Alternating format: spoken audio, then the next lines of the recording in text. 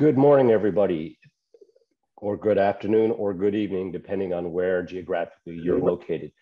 Thank you for joining us today. Uh, my name is Marshall Dial. I am the VP of Simulation and Education for Haag-Streit Simulation, uh, residing in Toronto, Canada. Joining us today is Dr. John Ferris from the United Kingdom, pediatric ophthalmologist and absolutely off the charts great cataract surgeon, as well as Dr. Ivo Ferreira from Mexico City and co-founder of Ophthalmo University. Today's subject is how we can use technology and mentorship in adult learning science to address a gap that many young ophthalmologists have, which is their comfort level and proficiency in managing PC ruptures and the presence of vitreous during their cataract case. So what we're going to do is take you through a series of slides uh, and also use virtual reality technology. So what we hope to do is first create a baseline understanding of where we are in education for teaching anterior vitrectomy and whether or not we can in fact do better. On this subject, Dr. Uh, Dr. Ferris has done amazing work with his colleagues to really drill down into the status quo for rates of complications and how technology has impacted learning in young ophthalmologists learning cataract surgery. So, Marshall, uh, thanks very much. Uh, great pleasure to be taking part in another Cybersight uh, webinar. Just looking at this first slide, the PCR risk stratification, this comes from the electronic patient records that we use in the UK to document almost 80% of all cataract operations that are done in the, in the UK. And the odds ratio you can see here is the multiple uh, of what the uh, standard PCR uh, risk is. And if you, for example, had a first year trainee operating on a brunescent cataract that also had some pseudo exfoliation, the risk above the average of a PCR are those three figures multiplied together. So it comes to about 27% uh, chance of a PCR. Uh, and one of the themes we're going to be following today is preventing PCR. And you can do that. One of the most effective ways of doing that as a trainee is case selection. And these are from the more than a million cases on the Medisoft electronic patient record collected by the Royal College of Ophthalmologists on their national ophthalmology database are the highest individual risk factors for, for PCR. And many of these uh, that you, you will recognize. Uh, next slide, please, Marshall. So when we look at uh, the rates of PCR, this is the first ever National Ophthalmology Database paper that showed that for independent surgeons, uh, there's a 1.4% risk of PCR. Senior trainees, two and a half, and junior trainees, a 5% chance of PCR. Now, this was uh, published back in 2006. It's an annual audit that we do, and those figures have now fallen to about 1.1% for independent surgeons, and across all trainees to just over over 2%. Um, so still double the risk, but significantly less than it was in 2006. And in the main, this is due to the uh, mandation of Eyesi virtual reality cataract surgery training before undertaking live surgery. Next slide, please, Marshall. So this was a study, again, taken from the National Ophthalmology Database data set, where we looked at six years uh, of surgery for first and second year trainees, 265 surgeons in 28 centers, over uh, 17,500 cases. And we find that in those trainees who'd undergone Eyesi training, either in their hospital or in a neighboring hospital, uh, next slide, please, Marshall, it shows a 38% uh, reduction in PCR rate. So at the box in the bottom left of the slide, you can see that before Eyesi practice, the average PCR rate for this group of surgeons was 3.5% and it fell to 2.6. So that's a 38% reduction. But in those trainees who had no access to an Eyesi, the PCR rate stayed the same. And if we look at the fact that we perform 400,000 uh, phacos in uh, the UK a year, this results in about 400 fewer PC ruptures uh, across the country. Uh, and this was the first evidence that simulation practice uh, reduces the risk of complications. So the evidence is out there that this technology works. Thanks, Marshall. The other interesting study that was done uh, in the UK recently was looking at our senior trainees. Now, in the UK, the training program is seven-year program, and 350 uh, phacos is the minimum that our trainees need to do to uh, become a consultant. The vast majority have done over 600, 700 cases. So these were experienced trainees who'd done six or 700 cases, and they were asked how confident they were in performing a solo anterior vitrectomy. That is, dealing with the PCR, performing an anterior vitrectomy, calculating the strength of sulcus lens to be put in, and implanting the lens to be put in. And you can see that over a third of the patient of the uh, trainees felt that they were not in a position to carry out this surgery independently, and they were just about to enter independent practice. Uh, and I stress these were very experienced uh, cataract surgeons. So rather perversely, the fact that our training has become so good, their PC rupture rates were so low, many of these trainees, they hadn't had the opportunity to practice managing a PCR. And this is why the uh, simulation techniques we're going to talk about today are so important. And not just for trainees, but also for senior surgeons to keep up their skills in managing uh, PCR. Thanks, Marshall. So with that, uh, let's go to our first survey. So uh, we'd like to ask the audience, you know, how would you feel you were trained during your residency for management of uh, anterior vitrectomy? I mean, this is, I know for residents and young ophthalmologists that I deal with, a very sensitive subject. Uh, it's also a complex scenario involving your teacher and a patient. So we'd love to get your feedback on your experience, such as it was during your training. All right, very interesting. So uh, 35% of the audience uh, was well trained with significant live surgery. I mean, I don't know how you feel, John. That's that to me is actually quite high. So that's that's that's pretty high. Yeah, uh, and that's yeah. pretty much it was in the UK. A third of the of our yeah. trainees felt that they were uh, well uh, well trained, but that still left two thirds who felt right. that, that that they they were they anxious were about, anxious about managing it themselves. So that, then we look at the uh, on the bottom of the uh, of the survey results. You know, a little over half the audience was mostly observing and had limited hands-on time or had uh, essentially not undertaken during their training the opportunity to manage. So clearly there are some gaps in the conventional way we prepare young ophthalmologists to undertake cataract surgery and to feel that they're appropriately prepared for managing a PCR. So that's great. Um, let's, let's close that. So it looks as if we've got Ivo all ready for a live demonstration, judging by the screen there a moment ago. Hopefully the technology will not let us die. Hey, here. how are you guys? Hey, yeah. Ivo, good. I'm super happy we have you. Uh, okay, at this point, uh, we're going to now have the opportunity to kind of look at a paradigm shift in how we can fill that gap and create a meaningful supplemental training experience vis-a-vis the use of virtual reality and mentorship to address this gap. Uh, Dr. Ferreira, will you show us how you are able to use simulation to teach an otherwise complex and you know rare event so that uh, young ophthalmologists feel comfortable doing anterior vitrectomy?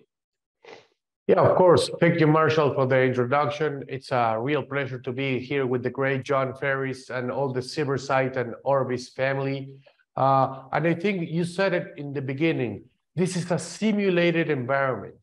This is a place where every, all the laws change, and we're gonna, you know, do something extremely interesting in a controlled environment with metrics and we're gonna um, we're gonna create a channel of communication between the mentor and the trainer uh, um, how on how to uh, especially pass skills to it to, to to the person who is in training. So right now you're going to see in the big screen uh, a simulated scenario with a posterior capsular break and vitreous that it's already stained. So this is going to be great in order for people to understand what's going on. And look at this. Also, I'm completely obsessed with the hand positioning and how you, you know, how you manage outside the eye to create things inside the eye. So let's, I'm going to do something different here because simulation allows this. I'm going to do something that I, I call the most intuitive thing to do for the people who are starting. But there is three or four important mistakes in which I'm going to do. Okay, so I'm going to do things wrong. And I think that's one of the most uh, powerful things about uh, virtual simulation. So as you can see here, I'm of course watching in 3D. This is virtual reality. This is tissues that have been modeled in order to interact. And I'm going to enter I, I also can choose my uh, parameters, which I'm going to show in um, afterwards. And now you're going to see, you know, something that I believe it's the most intuitive thing. I see vitreous in the top and I go for it, right? I'm doing a bimanual anterior vitrectomy. I see vitreous in the top. And the first thing I do is I go for vitreous. Know, I take my time this is another mistake I, I see a lot, you know, the way of I move, you know, this is vitreous, this is a new structure.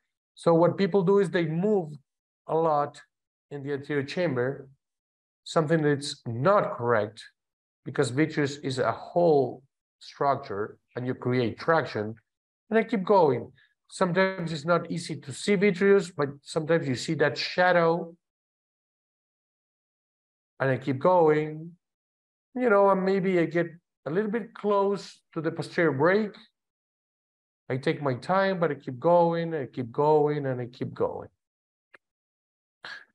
And, you know, when I think that I did almost everything and I removed the vitreous,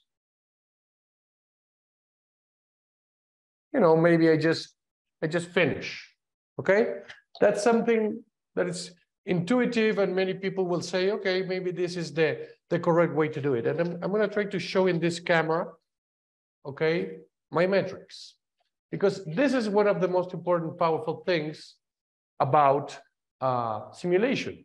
So I got a zero, but the question is why, right? The question is what happened? And if you really see here the target achievement, let me share it with you so you can see everything that's going on in these metrics. Okay, look at this. Look at those, the power of those metrics. The machine is telling me there's, there was six seconds in which you pause irrigation. So something happened in the anterior chamber that wasn't correct. Then it says, well, you left some vitreous in the anterior chamber. It wasn't that much. But especially, you pull vitreous towards the anterior chamber. Many interesting things, okay? So I'm gonna leave it like that and we're going to keep going and then we're going to try to do it again in the correct way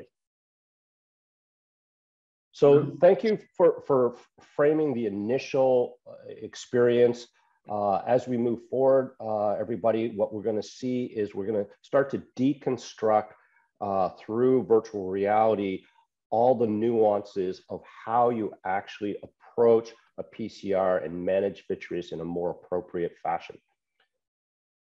Okay, Ivo, talk, talk to us a little bit about the three components that are possible to be effectively trained through the use of simulation. Yes, um, that's one of the most important things when, when we are training people. Uh, I think uh, every time you face any, any step in, uh, in cataract surgery, especially in vitrectomy, we talk about three skills that you would be artificially be thinking about. You always need the motor skills. In this case, you're seeing it with my hands. You know, in my hands, I need uh, to move correctly. I need to be very careful with, uh, um, with the vitreous. But then, you know, uh, in the 70s, Frank Spencer was talking about the decision-making uh, capabilities and the problem-solving capabilities of a surgeon. And we call this the cognitive skills. And we are always trying to push our students in how to make the best decisions and in algorithms and how to do them. And then, and especially in this part, and we're talking, we're going to talk a lot about this with John, is about the mindset skills. I see so many surgeons that they can do a, a, cataract surgery in seven minutes, eight minutes, but then suddenly you have a posterior capsule break and they freeze. And you see this as failure. So what happens when you already fail and you need to keep going? So the mindset skills, especially in this, uh, especially in this uh, surgical step, they're extremely important. If you pass the next one, please, Marshall. And for each of them, we have designed a specific uh, workshop in order how to make it. There is a way on how you learn uh, motor skills when you're a microsurgeon. You are moving different groups of, of muscles. You need to have the correct biomechanics of your hands. Then we have algorithms in how you make decisions being a surgeon. And of course, and one of the most important ones is how to be in a peak performance state during the entire surgery. Those skills, uh, I'm sure they're one of the most important skills when you're talking about anterior vitrectomy. Next one, please. This is something I need to give a lot of credit with Mar to Marshall. This is something so powerful. Uh, and it's an analogy with another, you know, another activity that it's uh, it's something we need to talk about and think about it. Here we have uh, you know, another person with 38 years old who says, you know what, you know, I'm bored in the pandemic, and now I from from from you know next month I want to uh, do surf in this kind of waves. These kind of waves can be fun, but also can be very, uh, you know, very challenging and very dangerous. So what he does is he says, the first thing, okay, I need a coach. Great. You want to be good at something, get a coach. But then after he gets the coach, he the coach says this, and it's so important. And actually, I think it's it's very important for today. Says, okay, I'm going to teach you every single scenario in which you can fail, and then what you're going to do when you fail. So you're ready. If something happens, you're ready, you know, to mitigate the risk, right, Marshall? This is something we love. This is a very important concept. Well, I think you're 100% right. And I think we're going to drill into that right now. One of the most important things, uh, in my opinion, and emphasized by uh, Ivo there, is the, the cognitive skills and the psycho, psychological you know, skills. The motor skills are something that, that can be practiced, but they only make up about probably 20% of what's important when you're dealing with uh, any form of, of, of complicated uh, cataract surgery. And over the next uh, few slides uh, and videos, hopefully we'll show ways of uh, approaching this um, type of uh, complication. And it will happen to, to all of us, no matter how brilliant a surgeon you are, you will have PC ruptures to deal with. Uh, and they'll give you just a little framework of how to just get yourself and your team into the right place to deal with it effectively. Because if dealt with effectively, there's no reason why patients should not have an excellent visual outcome. So what is the goal in anterior vitrectomy? So we look the ultimate goal is to remove all of the vitreous from the anterior chamber, uh, avoid damaging the capsular axis if it's intact and the iris and other uh, anterior segment structures. As uh, Ivo was emphasizing there, avoid placing any traction on the vitreous. If you uh, start pulling on the vitreous, you will cause a retinal break and the patient will develop a retinal detachment. You want to preserve the chamber stability. And we'll see uh, in some of the slides coming up in the videos, the instant reaction that many people have when they notice the PCR is to remove the instruments from the eye. It immediately decompresses the anterior chamber and propagates the, the, the, the tear. And then once you've successfully removed the vitreous, hopefully left an intact uh, capsular excess, then you can learn how to place a three-piece IOL safely in the sulcus, perhaps with optic capture to get a nice stable uh, outcome. So those are the ultimate aims from the eyes point of view. But I would add to this slide the other aim, and probably more important, uh, is that the patient, who inevitably will be awake listening to what's going on, does not have a frightening experience. Experiences a wonderfully calm atmosphere in the operating theatre. And as far as they're concerned, the operation is just taking a little bit longer than anticipated because of the calm and rehearsed way that the entire theatre team are managing this. So even if you do a wonderful anterior vitrectomy, follow all these steps, if the patient is aware of lots of anxious voices, you know, shouting, uh, confusion going on around them, uh, they will be extremely worried that something terrible has happened, even if the complication has been managed well. Uh, and that's something I want people to be very much mindful of as we go through the next slides. Next slide, please. So how to do a correct anterior vitrectomy?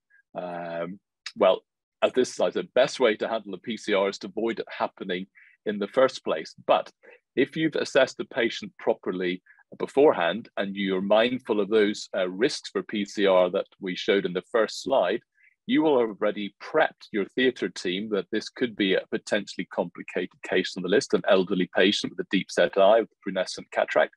So they already know there's an increased risk of PCR and will be mindful of, of that should it uh, happen. Practice and preparation, we'll see uh, in the coming videos how we can actually practice uh, managing PCR as, as well as the Eyesi simulation, some model eye simulation, and how we can use that to help prepare the entire team in theatre, not just the surgeon. So we can practice not only the motor, but the cognitive and psychological skills required. Next slide, please. So we're just going to look at some of the points at which uh, a PCR can happen. So hydrodissection, uh, if you have uh, are too vigorous with your hydrodissection, especially in the presence of a posterior polar cataract, uh, you can rupture the capsule before you've even got a phaco probe in your hand. If you have a patient who's had multiple anti-VEGF injections, one of those injections could have accidentally touched the, the capsule, leaving a, a weakness. So gentle but thorough hydrodissection technique. And in the place of a posterior polar cataract, you might want to do hydrodelineation rather than a hydrodissection. So this is uh, certainly one step where a PCR can occur, but it's by far and away the, the rarest uh, point. Next slide, please.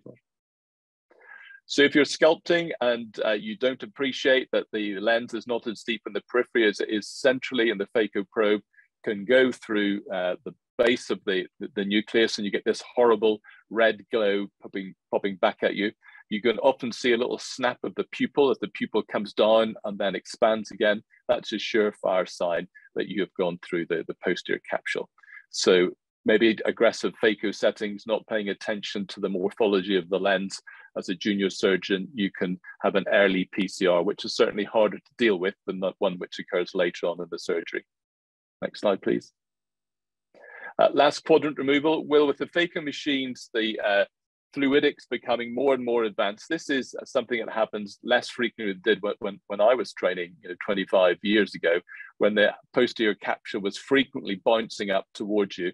Um, so all the modern phaco machines, whether it's a peristaltic or Venturi pump system or a combination of the two, it's less likely to happen. But what trainees should avoid is chasing the last segment around, trying to pick it up from the periphery when uh, they're not in the right position because PC rupture can certainly happen uh, if you start to um, chase sections of the, the last quadrant of the lens um, around the eye. There's a temptation for people to have the second instrument inside the eye when they're removing the last quadrant in the uh, uh, incorrect hope that it might keep the posterior capsule back. It's much better, in my opinion, to remove the second instrument. So you've got a nice tight uh, anterior chamber, well inflated, and the fluidics of the phaco machine can be relied upon to let that segment of nucleus come up to the phaco probe. Uh, if you have the second instrument in the eye, there's often leakage of uh, um, aqueous and fluid saline out of the um, anterior chamber, and you're actually more likely to get uh, uh PC rupture. Next slide, please. Subincisional cortex, um, just go back one, thanks, Marshall. Uh, often you think, I've got rid of the nucleus, you're kind of relaxed uh, and you know, careless uh, irrigation, aspiration of the cortex can lead to rupture of the posterior capsule.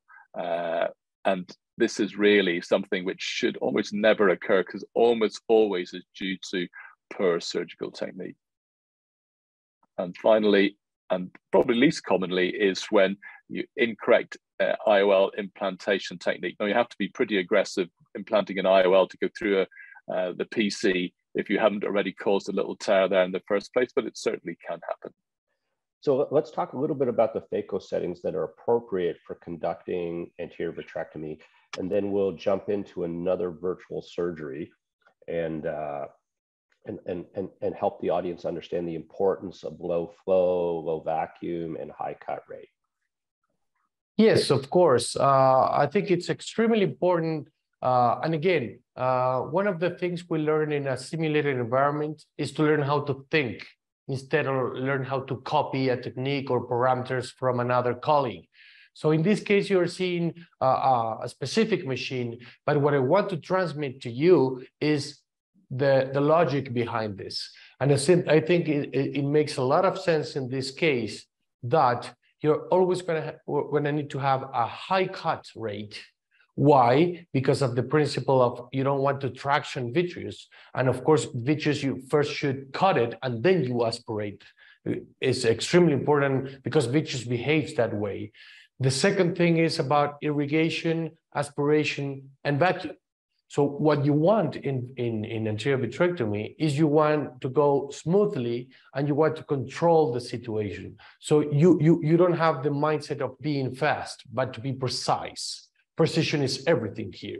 So what I strongly recommend in anterior vitrectomy is a low height of the bottle if you have a gravity machine or if you have an active uh, fluidics machine like this one that is called uh, Centurion, then you're going to have an IOP in the anterior chamber is going to be low.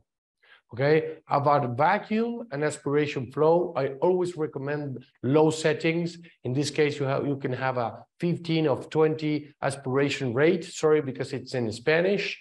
Uh, you know, we surgery in Spanish. Sorry.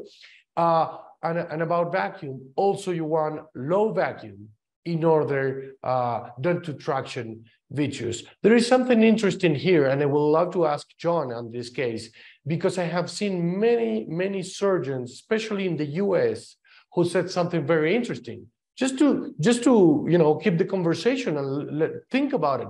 There's many surgeons that will say, okay, vitreous. Vitreous is what? 98, 99% of water, right? And people who will lower, lower the bottle, they would say they don't want to hydrate vitreous. So it's like, how can you hydrate something that is already 99% of water? So you know what these guys do? They put a high uh, bottle when they're doing anterior vitrectomy. And they say that they do that because they want to push everything back. I don't know what you do, John. In my case, I still use low bottles, but you know, there's always other yeah. mindsets around. Yeah, I haven't uh, certainly in the UK. The teaching and my personal practice is to have uh, low, low, low bottle height, low, low pressure. It's not so much you know, hydrating the, the vitreous. One of the points we make in the slides to come is to have that irrigation well away from the, the point of, of, of the, the PCR, but I have low bottle height so you get more control. And as you said, I about low, low vacuums and, and, and low flow rates, but with high cut rate.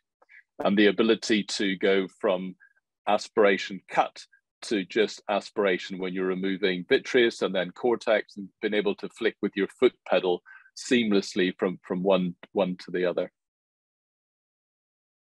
Perfect. Uh, perfect. So again, uh, we talk about parameters. You need to learn how to think. High cut, low bottle, low vacuum, and low aspiration rate. Why? Because you want to control the situation. Next one, please. Okay, so now I, I, think this is the perfect opportunity for us to apply this theoretical discussion in real world terms. So our next virtual surgery uh, is actually going to be Dr. Ferreira doing a typical cataract case. He's conducting coaxial irrigation and aspiration. Everything is good. He's getting ready to put the lens in and we suddenly have a PCR and now he must convert. And all the kind of the psychological, cognitive, and psychomotor skills and decision-making uh, elements are going to come into play. So I think we're going to do L5. That's correct. Uh, but, but guess what? Uh, as always, I have a surprise because uh, I really want people, you know, uh, sometimes they see me that I have experience with the machine and they will say, you know, okay, he makes it makes sense, he knows the machine, but we're going to put one of our great students to do it, and I'm going to comment. Uh, why? Again, I think it's extremely important for people to understand that simulation is the way that in my humble experience, simulation now became the gold standard to train so many things, specifically this one, when we have complications. So again, we're, we're going to have one of our students to come and I'm going to try to comment. Uh, and John, of course, you you are, a, you know, this is the other power of simulation. You're going to be a virtual mentor from 7,000 kilometers. So she's going to be, you know, in, in a great situation. So we have Ale here. We're going to do, again, let me talk to you about the scenario. so we have, uh, again, um, and a scenario in which she's going to do INA, as you're going to see here. There you go. So there is still cortex in the in the anterior capsular bag. The bag it's not broken. Okay. So now, and, and I think it's extremely important also for you to understand that she has many many things uh, to, to to show or to use. She has a lot of uh, tools she has uh, irrigation, aspiration. She can choose uh, a vitrector. She has triamcinolone. She has viscoelastic. So imagine she's going to be doing, um, you know, a decision making on steroids here. So you can start. She's going to do the INA uh, by manual. Okay, she has an aspirator in the red. Um, ¿Tienes el, acá el irrigador? Uh -huh. Dale, posición 1 Okay, very good. So you're to see she started with irrigation. Now she's to do the INA. Perfect. And then suddenly something bad's to happen. No matter what she does, something bad's, oh, and that happened. I hope you can see it. I, I see it perfectly through the screen. So she has a big posterior capsular break. And this is the moment this is the key moment in where everybody, you know, freezes and everybody brings everything out of the eye. And that could be a big problem in this case. Why? Because you don't want to lose the pressure on the anterior chamber. She did something great. So she stepped in position one and she put viscoelastics in the anterior chamber. Okay, that single maneuver is extremely important. Why? Because she is keeping the positive pressure in the anterior chamber. One thing she could do is she had triamcinolone. She was able to put triamcinolone to visualize vitreous, a little bit better. But guess what? In the operating room, I challenge anybody who has triamcinolone ready in that specific moment. So, you know, it's not easy to have triamcinolone ready because you are doing phaco and you have high confidence and you're not going to break the capsule. Tell me, John, any other comments on that specific No, maneuver? I think that was absolutely essential. So obviously you knew that the PC rupture was going to happen and you're pretty mm. relaxed. But one of the, the, the dangers is when it comes to the cognitive side of things, there's a human reaction to deny that it's happened, to wish that it hasn't happened. But what you must, and Brian Little and Larry Benjamin, great UK trainers, talk about the danger of denial. Do not deny it's happened. Recognize the signs, which you did, and then rather than panic and remove the instruments, do exactly the correct thing. Keep the infusion going and then tamponade the, the anterior chamber. And then you can pause, then you can just stop uh, and get your team ready to carry out the next bit of the procedure. And that's, as you were saying, Ivo, the most important thing. Um, to think, yes, this has happened, but I'm relaxed. I know exactly what to do, and so does my team, and then carry on. Okay, great. So now she did a second thing again. As you can see in the machine, the settings, okay? So we have, let me show you the settings perfectly. So she has a 45 um, centimeters of height of the bottle. She has a vacuum of 175 and a high, high cut rate of 3000.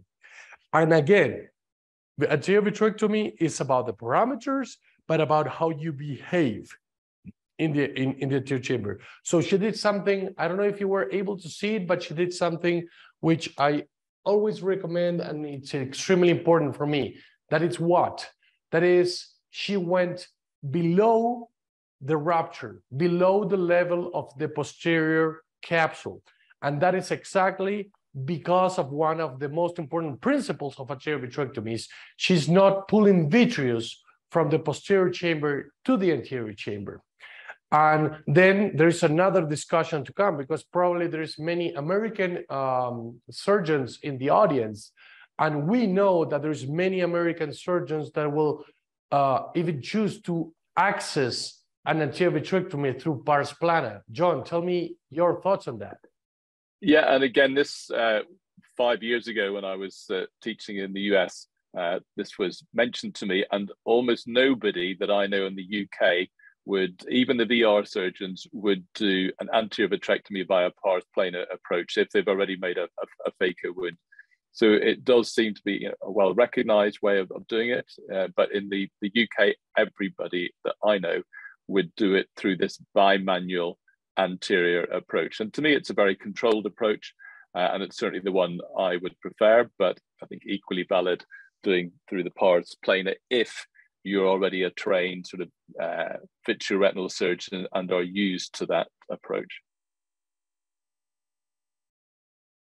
Excellent. So now there's another important thing that Alan needs to do is, okay, uh, she took care of vitreous. Uh, my, uh, what I'm teaching here, my mantra is always for people not to forget to say, if you see vitreous, you go for vitreous. Okay, so you even even if you have a lens, a piece of lens, or if you have cortex, if you see vitreous, you go for vitreous. Why? Because if you enter the anterior chamber with another objective, you're gonna create uh, main, probably a couple of important problems because you know you're going for INA or the lens, and then you're traction in vitreous a lot, and vitreous is, can stick into the handpiece, into the uh, aspiration. So it's very important. So now that she deal with vitreous and you can see that posterior capsular break, it's, it's amazing. Uh, it, it's completely closed. Now she's going for uh, the cortex. Um, there is something important here is that sometimes you can go actually with the vitrector for cortex. And that's what we were showing in the, right, in the parameters. Sometimes you just put the cutting, you can put it off and then you can go for uh, with the aspiration for cortex. John, what are your thoughts on that? Absolutely. So I will use the vitrector uh, settings to have either cut IA or just irrigation aspiration. And at this point, I'll be using the vitrector just set on aspiration mode to aspirate the cortex. And then if I see a little bit of vitreous coming forward, I'll put some more triamcinolone in and just with the foot pedal kick right, and that will go to uh, cut IA, remove the vitreous, then kick again, go back to aspiration. And in a fraction of a second, you can just flick between those two modalities and safely remove the residual cortex without damaging the capsular axis. And at the same time, you know, being able to remove any little bits of vitreous that might still come forward into the anterior chamber. And I think it's a really neat way of, uh, of, of doing it. Great. And I great. believe and... I believe I believe the Eyesi can be set up now. Uh, the foot pedal yes. can be configured to let you do that. Ivo, is that correct? Exactly. Yeah, we can put the cutting off, and we can do the the aspiration with the. And look at this. Just to to end, she before she left the irrigation, she put viscoelastic. This is something so important for me, and there is so many people that you know can forget about that. And I think it's, it's extremely important to do. In this case, but let's do it. The only thing that happened, she did everything great. Okay, so the metrics went to zero because we were waiting for you in the comment and we stop well, we'll we, we transition from uh, when she was doing uh, vitrectomy to INA. So the machine said, you know, you pause the irrigation and she removed 100 points, but that was only because of, of we were waiting but she did everything great. Look, she didn't left any vitreous in the anterior chamber. She even removed the vitreous from the directly below the capsule where the break was. and she didn't almost didn't pull any vitreous from the back to the front. So again, imagine this. Ali here is training with two mentors. One she one is with her, the other one is 7,000 kilometers away. She has metrics on what she did. She's doing a test that she can repeat what, 5, 10, 20, 100 times. And she has objective metrics with that. There is no other way on how to train this. Um, I don't know if you have any last comments for this simulation activity, John. I think uh, you've summarized them beautifully there. And I think the, the only other comment I would make is that when you're just removing the instruments from the eye, say you're going from cut to IA, just have the cutter on until you're just taking the instrument out of the eye, and that minimizes the chance of having any little strands of vitreous there. Uh, I'm not sure, again, with the modern iterations of the Eyesi, whether we can effectively inject Miochol uh, at the end to shrink the pupil to see if there's any little strands of vitreous coming up to the to the wound, because that's another thing that would be you know great to simulate and, and practice before you know, putting the or having put the, the lens in place. But uh, that, it, it's a, a wonderful, wonderful uh, yeah. Thanks. Great demonstrations, and you know, well done to your student. I, just noticed the book on top of the Eyesi there. Uh, Ego is the enemy. Uh, yeah, very, very, very appropriate. Yeah, yeah, good. Yeah, and let me do a comment since since people are are answering. Uh, we we have been uh, with a, an approach lately about seeing cataract surgery as a process like uh, let's let's be engineers and let's see you know in which part of the process there is big risk. Uh, even engineers they do uh, risk management you know activities. So i think it's extremely important for you to see where problems can happen so you're more aware of them right? And i really like the answer. Actually no but please john your yeah, I, mean, I, think yeah, quad, quadrant removal. Uh, I would uh, uh, agree is the one where there's the highest risk, and that can of course be when you're sculpting. You can accidentally go through the anterior, uh, go through the rhexis, and then rips around the the back. If you're chasing bits of uh, uh, fragments of nucleus around the bag rather than letting them come to you, if you're trying to peel away epi, epinucleus if you're employing incorrect chopping techniques where the chopper catches the, the bag uh, and operating on, on dense cataracts and finding you're suddenly going through the back of the, the, the capsule. Um, but it was interesting to see IA being as, as low as, as low as it is, and that's what it should be. I mean, it shouldn't really happen with irrigation aspiration once the nucleus is is, is removed. Um, so quadrant removal is certainly the time where I see it most commonly with our trainees in the UK at the moment. No, no, I, I will I will say that I agree 100% with quorum removal. But in the second spot, from my experience and what I see around the world, I will say that INA will be higher than that. Uh, especially uh, even for a confidence level, I see that many people just, you know, the the nucleus is uh, it's out, everything is fine, and they they start rushing the, the surgery, especially in the subincisional part. I see many posterior capsular breaks that we could avoid as, as the second, you know, placing where a posterior capsular break can happen. Sorry, Marshall. No, I, I, actually, this is probably one of my favorite parts of the whole discussion, and and something again, I think uh, the folks in the UK are way ahead of the curve on, and that's looking beyond the surgeon experience to the larger OR dynamic of the team. Uh, John, do you want to share with us some of the really progressive? Yeah, well, this is, this was a, a, concept popularized by my friend and colleague David Lockington uh, in in Glasgow, and he calls it the fire drill for for PCR. Uh, and if you think of you, if you've watched your Formula One team when the uh, car comes into the pits and they change four tires in about eight seconds, there's about 20 people around that car. Every single person that team knows exactly what to do and what their role is, how they have to do it to get a smooth execution of that, of that pit stop. And that's what your theatre team should be. Uh, everybody in that room needs to know exactly what they should do.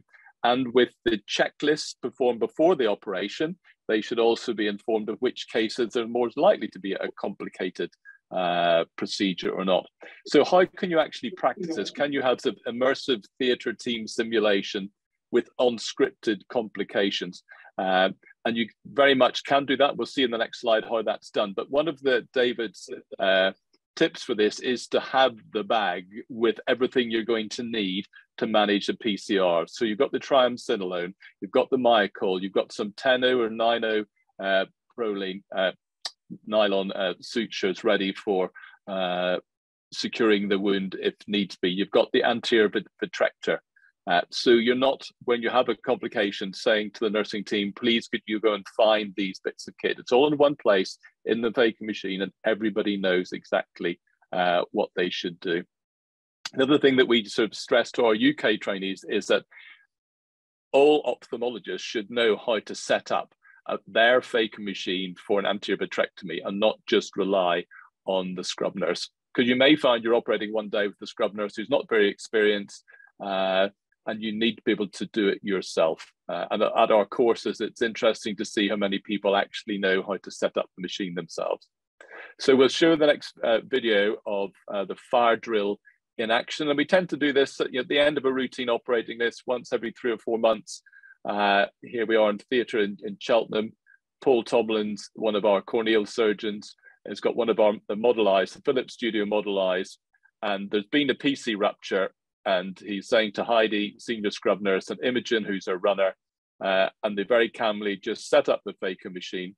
Now, at this point in time in real life, you will have done what we've seen in the simulation. You would have stabilized the anterior chamber, you'd remove the instruments from the eye, and start thinking now about what you're going to say to the patient. You're just going to say, we're just going to take a little longer to finish your operation. There'll be some extra maneuvers. I hope you're comfortable to make sure they're not uh, and any pain or discomfort uh, and talk them through the whole thing.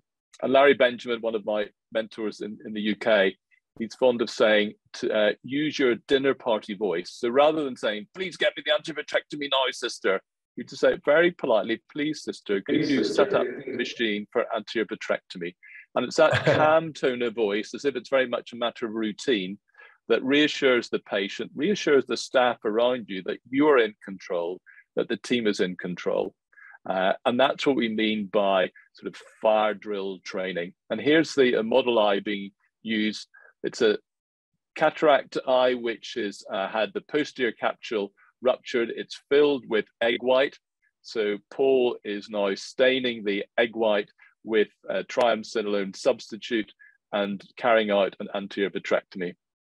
So the people in theatre have had practice in setting up the machine getting the instruments out, uh, and actually talking as if you're talking to uh, a patient. And I would highly recommend everybody who uh, is involved in the theatre team to instigate this form of fire drill training. Uh, and on the simulated ocular surgery website, there's details of how to use this type of simulation.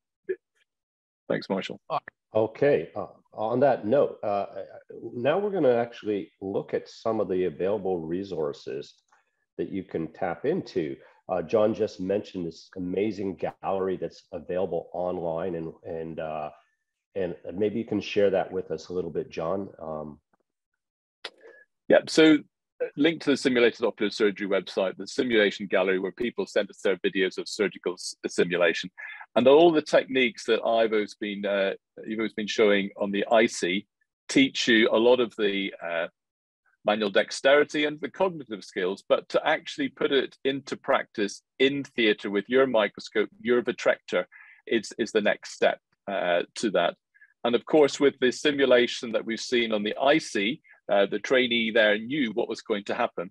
You can, you can doctor these model eyes so somebody can be doing a phaco without realizing we've already ruptured the posterior capsule with an MVR blade or damaged the zonule. So it's like pilot simulation where they're having their flight simulation. They don't know whether it's going to be a bird strike or an engine going out or the landing gear not working. Uh, and that's true immersive simulation where people in the theatre and the surgeon does not know what complication is going to happen.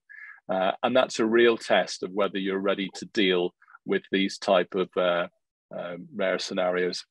And this is a video here of showing, okay, Marshall, you go to the, the next one if you like. Okay.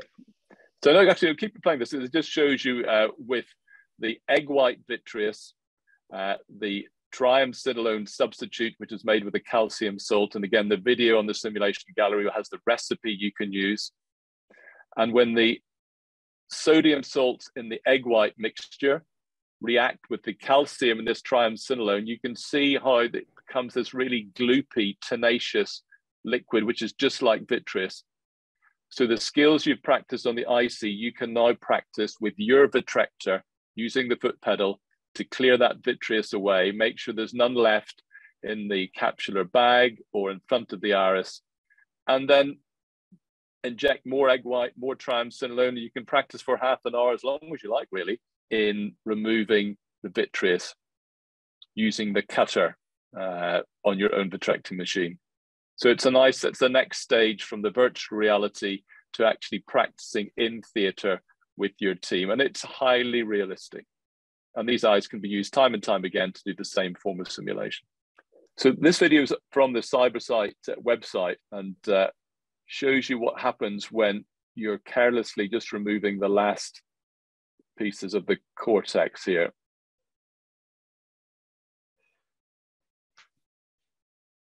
So watch carefully what happens.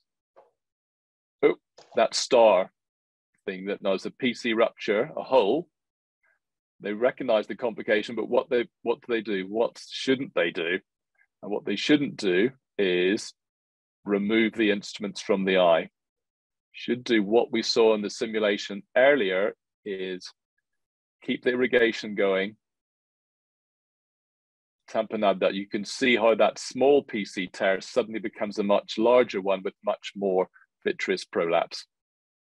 So recognizing the sign, ideally refluxing, kicking left with the foot pedal uh, to stop the PC tear. But if it does happen, get the OVD, get some viscoelastic in there without the eye anterior chamber decompressing, tamponade the break, control the tear, and then you can have the conversation with the scrub team about setting up for your anterior vitrectomy. So a nice example of what not to do. Thanks.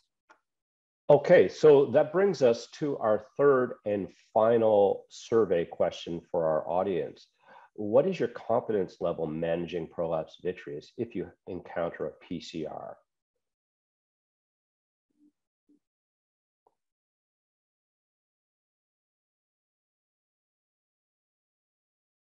And again, you know, in, in, in this kind of uh, question, I, I like to put uh, a little bit of philosophy in it, right? And what confidence means, because you can be confident, but maybe you, you, you don't have the correct knowledge to make decisions. So I think we should always think about what what it means to be confident in this kind of case. I had a, a great student a couple of months ago who she will say, hey, I can be so confident and everything, but give me a correct algorithm in you know which decisions to make in every possible scenario and my confidence is going to boost in that moment so i think this is one of the exact moments to do that. Let's see what people think.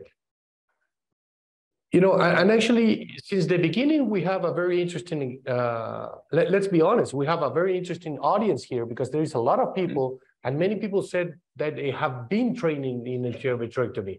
I can say that there's many people who, who didn't have like formal um, formal train, but here, even if they have correct training, you know, the, there is lack of confidence in many of them, right? Which is good. I think that's the most important thing. Start with being humble and you know identifying that we all we all have a lot to learn.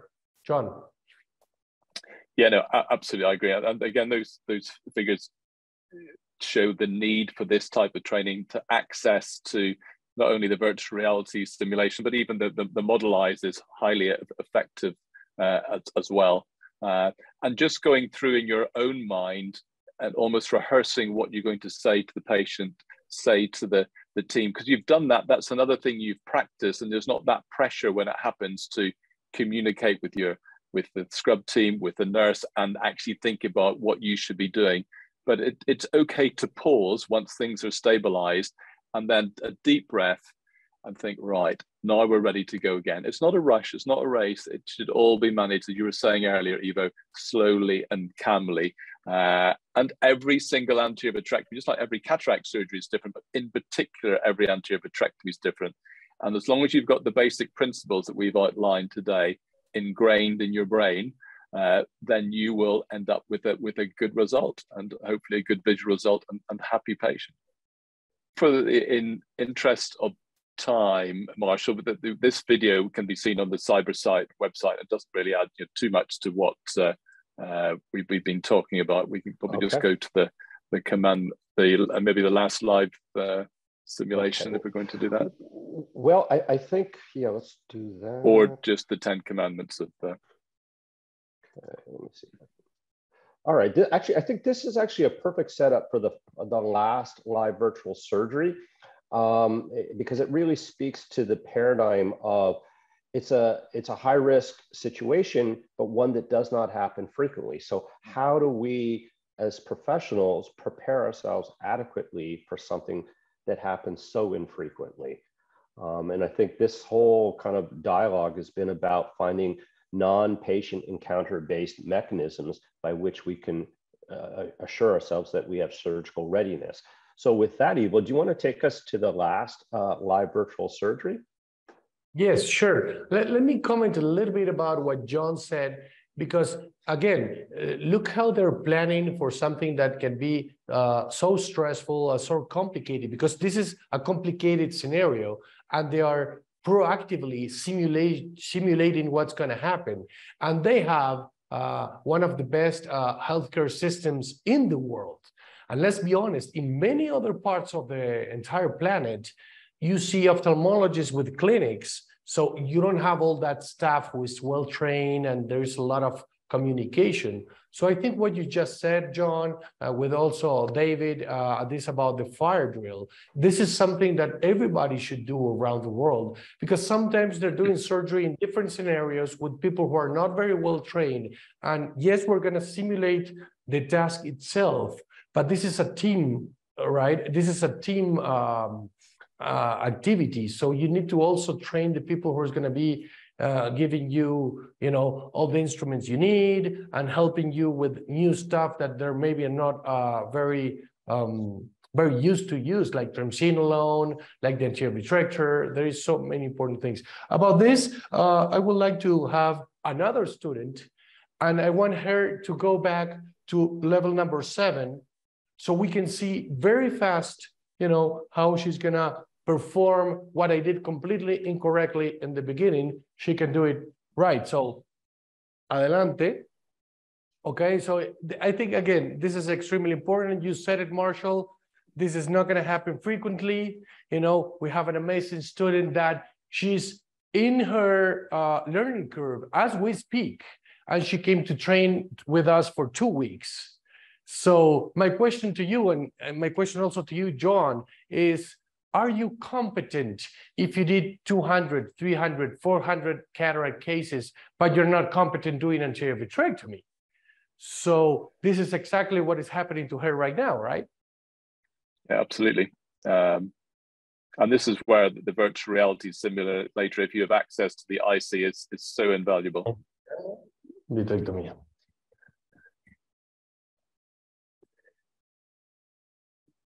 Okay, so remember guys, level number seven, you have a posterior capsular break.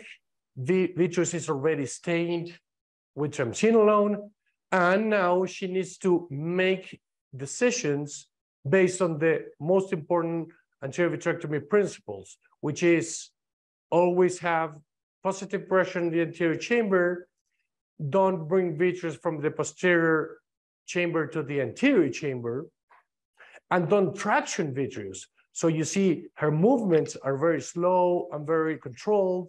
She went directly to a lower level with the vitrector. So as you can see that in that this exact moment, you're gonna see vitreous that is going down. You know what I mean? It's going low. It's not going through the main incision. So vitreous is slowly, because she's taking her time, right, going to the posterior chamber. And you can see the vitreous that is not staying right in the bottom. Uh, and that's the good thing. So again, she has the correct parameters. She is making sure that she has positive pressure in the anterior chamber. And now she's taken the time, right? This is a completely new mindset. This is not cataract surgery. If it takes 20 minutes, 30 minutes, 40 minutes, you need to take those 40 minutes. Uh, and I think one of the most important things, John, is that sometimes you see this as failure, but if you really take the time and you, you do things right and you do a three-piece IOL in the sulcus, these patients, they do so good in the post-op. No, they absolutely no, no. do perfectly well. And they don't no. need a YAG capsulotomy. Elástico, doctora. Okay, she did a mistake. Uh, she's gonna be penalized. She decompressed the capsule. You know, this is the, this is this is training. This is real life. So no, so she, you know, she's gonna have a bad score now. She was coming great, but in the end, she did decompress the capsule, the, the anterior chamber. So yeah. still very nice up to that point. very nice so, up to that point. Yeah. Okay. So she did everything good. Again, this is the way how you how you learn. You did. She did everything good. She didn't lift any vitreous in the anterior chamber. She didn't lift vitreous below the capsule. She didn't put vitreous, but she decompressed the anterior chamber in the end. So what happened? What's going to happen? Exactly what you were showing in the in the video, right, John? You know, yeah. Even the hole sometimes it gets bigger because the vitreous comes to the anterior chamber. Yeah, yeah. Very good. We we I don't know, Marshall, if you want if you want us to do another because again, uh, you guys saw two levels and we can have we have seven levels. We have many levels in which vitreous you know are sticking to many substances. There is so many different things but i think that i love that slide. That slide yeah. i think is going to summarize everything we have been talking about. Yeah so uh, just to summarize before we go on to questions here it's that mental transition to different surgery so Know the signs when the vitreous, when there's been a PC rupture. Don't deny it. You're wishing it hasn't happened. It has happened, but don't deny it. Don't remove the instruments from the eye. Uh, tamponade the eye and then make decisions. And they've got that psychomotor transition that we were talking about, knowing about your, your cutters, that's all set up, sealed anterior chamber and the approach. Anterior is my preferred approach, pars plana if you're trained to do that. And then these bimanual techniques with no traction, starting at the level of the PCR, working up anteriorly, uh, and completing that vitrectomy, which may have to be done in stages if you're removing cortex at the same time. Triamcinolone is your friend. The vitreous is a ghost, as Larry Benjamin would say. Uh, it's hard to spot. So judicious and copious use of triamcinolone to identify any vitreous strands in the anterior chamber up to the wound. Uh, decision making once you've removed the vitreous and the cortex the decision you have to make is is it safe to implant a sulcus lens? If it is then what strength of sulcus lens are you going to choose compared to the strength of the lens you're going to use in the bag? That's a whole new webinar in itself really. Uh, and how to implant that lens safely. Uh, shrinking down the pupil with your Miochol making sure there's no little strands of vitreous uh, communicating calmly and empathetically with your patient throughout, uh, speaking to the patient immediately after the operation, speaking to them before they go home and their relatives, meticulous follow up. So you're going to see them the next day, check the pressure, make everything, sure everything's well. And the following week, you do not want to lose these patients in a big hospital system. And by looking after them so well, they're often that your most grateful patients. Because not only should they have a good visual result if you've followed all of these steps, but they've been looked after extremely well. And that is so important. Patients who like their doctors, who feel they've been well looked after, and who haven't had a frightening experience, have had a reasonably pleasant but slightly longer experience in theatre, uh, are much less likely to sue their surgeon uh, and be happy with the outcome. So, communication is absolutely key. I cannot stress that enough, as well as the other surgical and cognitive skills that we've spoken about. Uh, thank you, Marshall. Okay, that's a wonderful sort of summarization of all the key takeaways from today. There are a few questions, gentlemen, that it, it, that we'll try and get through. We're a little over time. Maybe so there can... are scenarios, Marshall, where you, if you're not sure, if you think, is there enough support there? Say, for example, there has been an anterior capsule tear and you're not confident there's enough support there at the time. Sometimes, you know what, it's best just to leave the patient a aphakic clean the vitreous up, make sure you've done a nice job, explain to the patient that we haven't put a lens in the primary at this surgery. We're going to let the eye settle down and then, you know, make a decision, especially if the patient's becoming uncomfortable, the local anesthesia is wearing off, the operation's gone on for 35 minutes or more you know there's no shame in that. And sometimes that's the best option. You can then reevaluate and decide camberley in clinic whether there actually is support for a, a sulcus lens whether it needs to be maybe a sutured lens. Uh, and it's obviously disappointing for the patient because they were very poor vision being aphakic but i've certainly done that uh, in the past and ended up with a good visual result. But again that comes down to communication and decision making and if you really think that it's going to be hazardous to put a lens in then uh, i would suggest just leaving the patient aphakic yeah. until you're confident you know what lens to put. I, Ivo, I don't know what you you think about that. I agree 100%, and especially like uh, that you you're teaching people how to think. Okay, you need to evaluate every single case, as you said, John. These cases, I think in in, in cataract surgery, we more uh, are more aware of what's going to happen and it's easy to make decisions but in anterior vitrectomy everything changes. So you need to evaluate every single case and you need to make the best decision for that patient. Yeah. Okay uh, the next question uh, gentlemen uh, how do you handle the lens pieces uh, when you, a pcr occurs during sculpt or quadrant removal? And that's a, an entire webinar, but uh, but again, yeah, because the decision making process uh, again is so complex. You're going to base in very important principles, and then you need to assess. Okay, is vitreous present? Is vitreous not present? And then also you need to assess: is the the the piece of the lens hard? Is it soft? How is that the characteristics of the rupture? Is it a hole, small in the center? Is it a big, you know, tear? There is so many variables that we could be here two or three hours talking about different scenarios, right, John?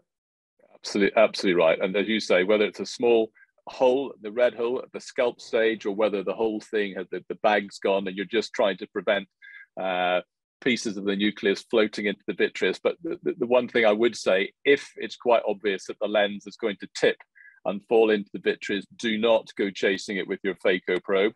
Do you know what? Just let it fall because if you can't retrieve it, you think, uh, I'm an anterior segment surgeon, uh, you're just going to have to let it go, swallow your pride, and get the VR team uh, in there to, to, to, to help to help you out. Uh, do not thinking, do you know what? I think I can get this piece. It, it once only got into the vitreous a little bit. Just do not ever chase a piece of the nucleus with your phaco probe. You'll make things 10 times worse. So with a big PC rupture that happens, a wraparound tear, and you can't safely float the remaining nuclear fragment up into the anterior chamber, yeah, you just have to cut your losses and uh, involve the, the VR team. Do you know what? They'll do a nice job. They'll remove the pieces of the lens uh, and then you can help with the IOL selection. But yeah, don't go chasing bits of nucleus uh, behind the posterior capsule or what's left of it. A degree of pragmatism is always a healthy thing. Hmm. Uh, last question, gentlemen. Any, and this is, I think, a subject Ivo and I talk about a lot in terms of equity and access to resources. And one reason I'm so grateful to be part of uh, this activity with Orbis uh, any suggestions for simulation ideas in low income countries with little or no access to an Eyesi simulator? Well, that's really the, the Phillips Studio eyes, the advanced cataract eye, which can be used time and time again. You've done the phaco with it, it can only be done once, but you've got a PC, uh, you've got the capsule in there, you rupture that, you can fill it with the egg white solution, as long as you wash it out after each practice, that eye can be used multiple times to practice anterior vitrectomy technique with the egg and sodium salt solution and the made up triamcinolone solution, you know, cheapest chips, easy to do in your own theatre. And it's safe, no matter what your theatre nurses say, it is safe to take these and the egg uh, white solution you know, into theatre and use it with instruments you operate with uh, on, on patients.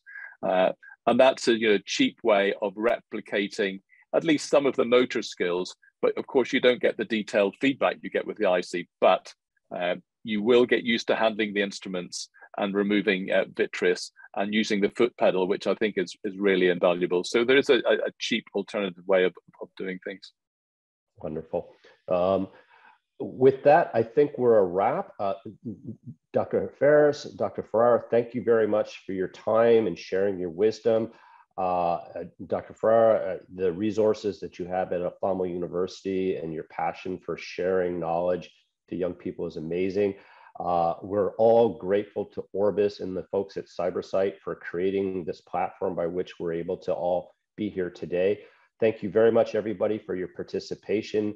Uh, if you were unable to attend, uh, Cybersight will have this uh, tomorrow online, and uh, people are more than welcome to access this at that time.